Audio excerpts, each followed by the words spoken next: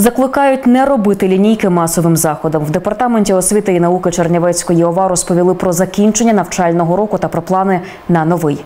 З якими проблемами зіштовхнулася система освіти на Буковині в умовах повномасштабного вторгнення? Дивіться далі в сюжеті. 184 останніх дзвоники в Чернівецькій області позаду. Директорка департаменту освіти і науки Оксана Сакрієр розповідає, цьогоріч закликають утриматись від гучних святкувань закінчення навчального року. Ми просимо всіх учасників освітнього процесу і безпосередньо е, адміністрацію закладів зробити максимально лінійки не масовими в класах, тобто організувати так, щоб це не було одночасний вивід на подібні заходи е, всіх учасників освітнього процесу. Очільниця каже, з вересня минулого року ситуація з укриттями в навчальних закладах Чернівецької області дещо покращилась. В освітній процес неможливо було вийти, не маючи укриття або не маючи угоду е, з ближ, е, наближеним укриттям.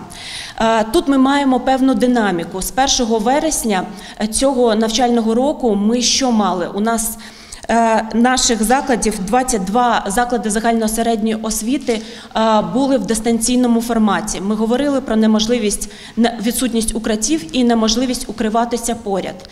Уже 31 травня ми маємо покращену ситуацію. Органи управління працюють, облаштовують максимально укриття і, звичайно, шукають можливість, де укриватися ближче. Тому ми маємо два заклади станом на сьогодні, які не мали укриття і не мали можливість е, поблизу укриватися. Окрім того, на облаштування та будівництво нових сховищ для школярів Кабінет міністрів України в новому році виділив 25 мільйонів гривень. Виділено 25 мільйонів на укриття. Маємо певні терміни, маємо певні дискусії, маємо потребу в укритті, е, яку нам подала територіальні громади.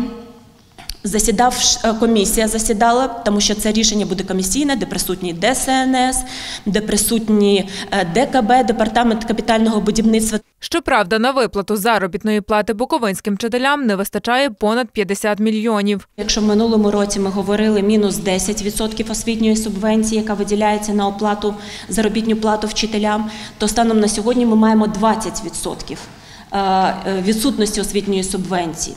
Що ми говоримо? Станом на сьогодні, відповідно до звітів, які подають територіальні громади на фінуправління, ми говоримо е, на, е, е, на потребу, яка складає 52 е, мільйони гривень. Також Оксана Сакрієр розповідає, дату основної сесії національного мультипредметного тесту не повідомляють з міркувань безпеки. Дізнатись таку інформацію абітурієнти зможуть в особистому кабінеті. З 5 червня офіційно розпочалося НМТ в Україні, але з позиції безпеки е, саме проведення національного мультипредметного тесту максимально перебуває в інформаційній тиші. З 5 червня розпочалася основна сесія, але, е, до прикладу, в Чернівцях вона розпочнеться згодом.